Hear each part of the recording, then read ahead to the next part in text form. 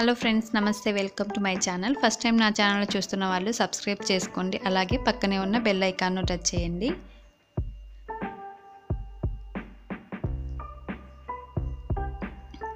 ఇదైతే morning blog. Morning ఇలా నా పూజ అయితే కంప్లీట్ అయిపోయింది. అండ్ బయట కూడా నేను ముగ్గు వేశాను. అది కూడా చూపిస్తాను.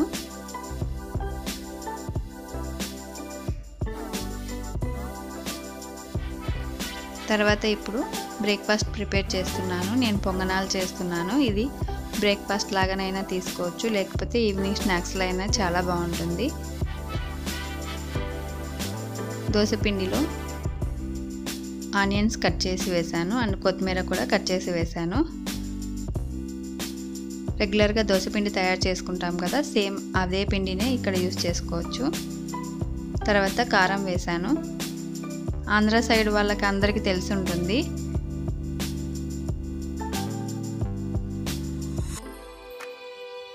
అండ్ నెక్స్ట్ సాల్ట్ వేసాను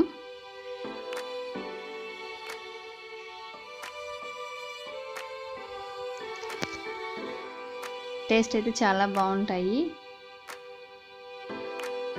తర్వాత పసుపు వేసాను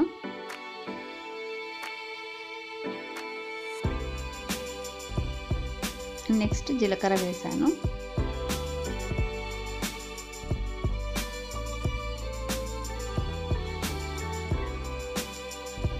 పిండి సరిగా పులుసకపోతే కొంచెం బేకింగ్ సోడా వేసుకోవాలి. తర్వాత కొంచెం వాటర్ వేసుకొని మిక్స్ చేసుకోవాలి.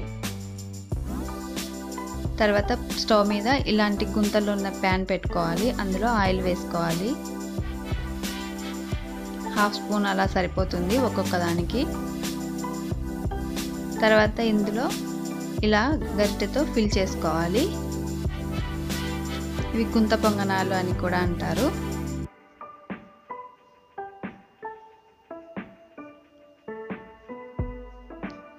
తర్వాత మూత పెట్టుకొని ఒక ఫైవ్ టు టెన్ మినిట్స్ అలా వదిలేస్తే మొత్తం కుక్ అయి ఉంటాయి.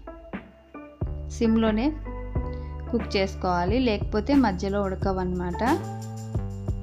తర్వాత ఇలా టర్న్ చేసుకోవాలి. అండ్ ఆయిల్ అవసరమైతే వేసుకోండి. లేకపోతే అవసరం లేదు మ్యాక్సిమము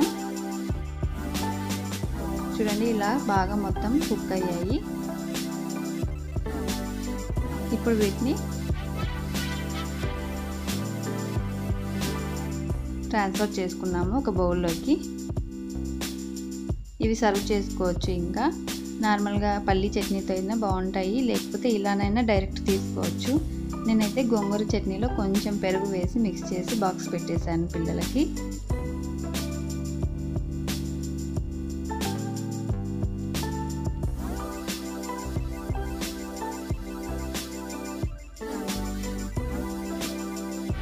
ఇదండి ఈరోజు బ్రేక్ఫాస్ట్ అండ్ టిఫిన్ బాక్స్ కూడా ఇలా అయిపోయింది.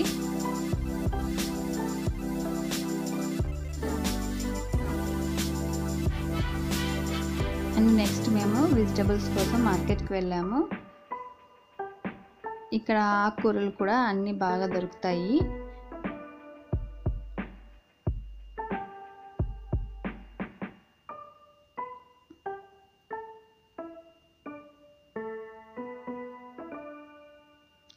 ఆలివ్స్. తర్వాత నేను స్వీట్ కార్న్ తీసుకున్నాను baby corn.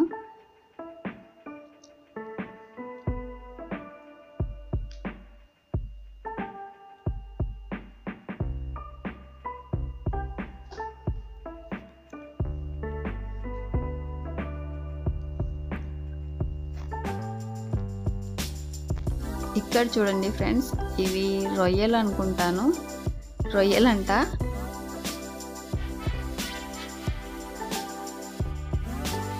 Loop star live Canada అని రాశారు.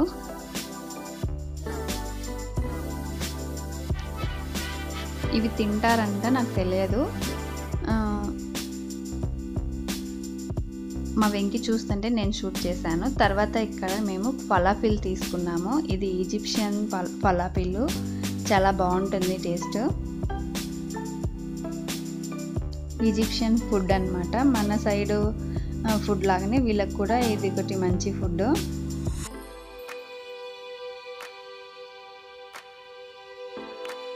అన్నీ ఇలా రా వెజిటబుల్స్ వేస్తారు దీంట్లో.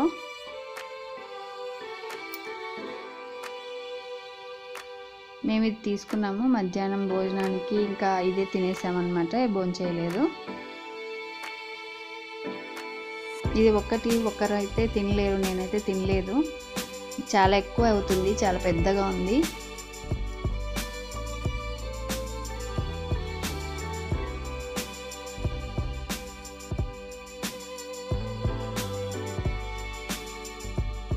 మనకి స్పైసీగా కావాలంటే స్పైసీగా కూడా చేసిస్తారు వీళ్ళు.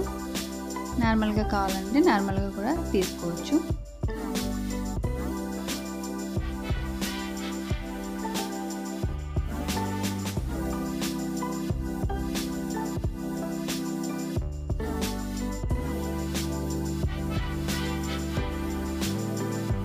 ఇది అలసంద వడ అనమాట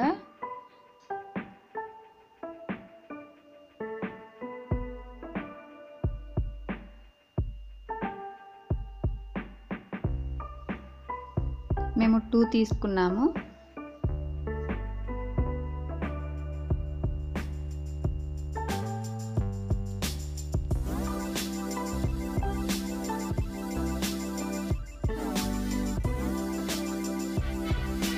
ఇదైతే పక్కా వెజిటేరియన్ ఫుడ్డే అందుకే నేను తీసుకున్నాను. బట్ వాళ్ళు మాత్రం ఈ కవర్లో గార్లిక్ చికెన్ అని ఉన్న కవర్లో ఇచ్చారు. నెక్స్ట్ నేను ఇక్కడ క్వినోవా తీసుకున్నాను ఈరోజు.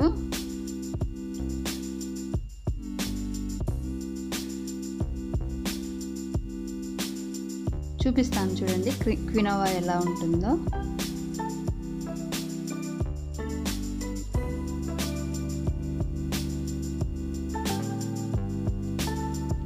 ఇదిగోండి red quinoa and white quinoa రెండు ఉన్నాయి. నేను వైట్ తీసుకున్నాను.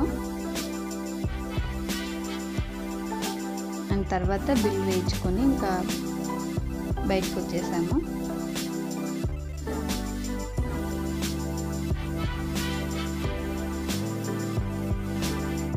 తర్వాత మేము ఈవినింగ్ టెంపుల్కి వెళ్ళాము. అది కూడా నేను కొంచెం యాడ్ చేశాను. చూడండి. టెంపుల్ వ్యూ ఇంతకుముందు చూసారు కదా మీరు? ఇప్పుడు నేను బర్దుబాయ్లో ఇది అల్ఫహిది స్ట్రీట్ అనమాట అల్ఫహిది ఫోర్ట్ అని నేను ఇంతకుముందు హండ్రెడ్ దిరం నోట్ పైన ఉంది అని చెప్పాను కదా. అదే స్ట్రీట్ మనం ఇలా స్ట్రైట్గా వెళ్తూ ఉంటే అల్ఫహిది ఫోర్ట్ వస్తుంది. అది కూడా చూపిస్తాను చూడండి.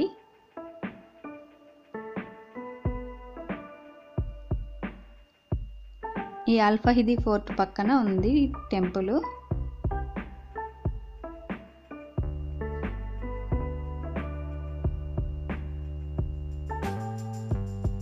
ఇక్కడైతే పార్కింగ్ అస్సలు దొరకదు. సో మా వారు ఇక్కడ నన్ను మమ్మల్ని డ్రాప్ చేసి తను వెళ్ళి పార్కింగ్ పెట్టేసి వచ్చారు.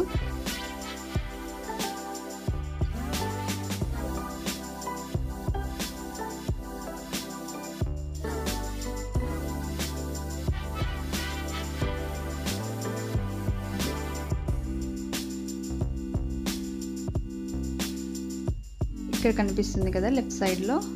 అల్ఫైది ఫోర్టు. ఇది మ్యూజియంగా యూజ్ చేస్తున్నారు కదా ఇప్పుడు అని చెప్పాను ఇంతకుముందు మీకు. ఇది మ్యూజియం ఇప్పుడు దుబాయ్ మ్యూజియం అని కూడా అంటారు. ఇక్కడ రైట్ సైడ్కి వెళ్తే లోపలికి వెళ్తాము టెంపుల్కి.